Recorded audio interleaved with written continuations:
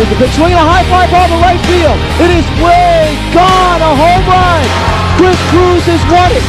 A two-run home run to right field. He has the single season record for home runs for the Big Red. His 12th of the year.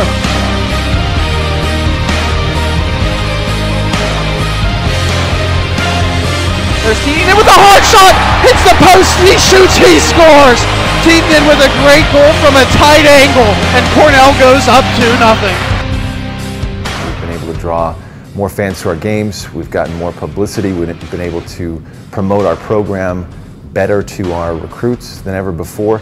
So having the presence of, uh, of BRSN now with the, the amount of energy that that you guys put into it has, has done tremendous things for our program. It was kind of a, a perfect storm of your involvement with us and our success, uh, our greatest success in 2012.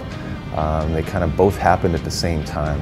The Big Red Sports Network has been awesome for um, a lot on the women's side. Sometimes it's hard to get the coverage that uh, the men's side do, and it's been really nice to work one-on-one -on -one with the Big Red Sports Network and get that coverage and be able to express um, kind of the women's side of the game as well. Honestly, I had more fun with the students than I did with the professionals because just because they related better, you know, they were more into it. And also, we, you know, we, we saw them on campus. We had a personal relationship with these people, and it was a lot of fun. Um, you know, we, we did a lot of things that were great, and uh, I think Cornell baseball really, uh, really had a great time doing it.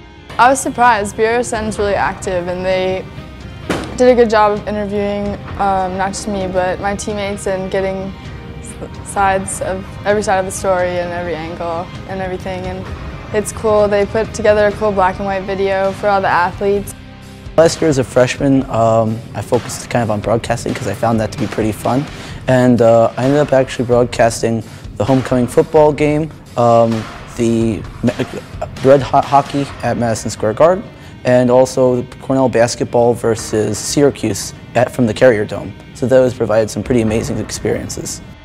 I watched them go from just covering baseball to now more than 11 sports. Uh, we have Big Red Sport Network reporters come on our away games with us to cover our, our games and provide play-by-play -play updates, which has been really great for my family in distant locations.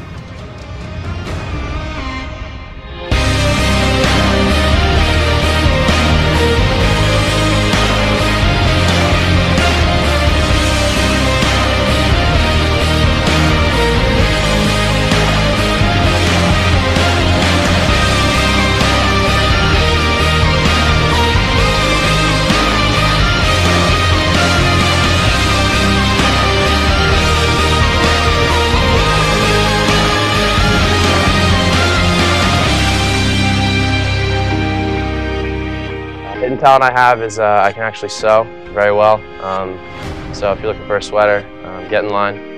And uh, there's waiting lists. All right, let's do that over again.